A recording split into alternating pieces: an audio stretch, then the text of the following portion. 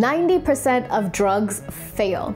The drug discovery pipeline is painfully slow, risky, and cost billions of dollars for mostly failed experiments. The industry has turned to AI for help, but are struggling because biology is too complex for just simple pattern recognition. But one company has cracked the code and is already delivering results, bridging the gap between AI and wet lab capabilities.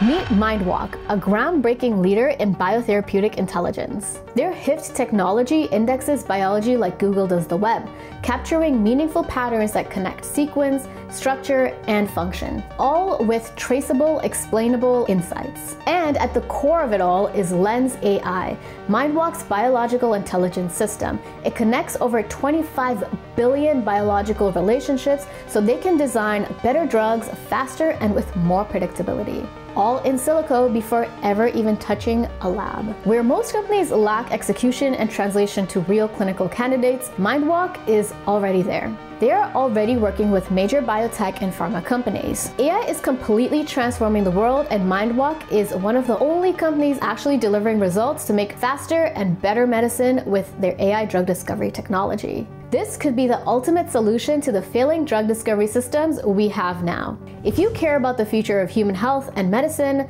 or are looking to invest, click the link to learn more about MindWalk.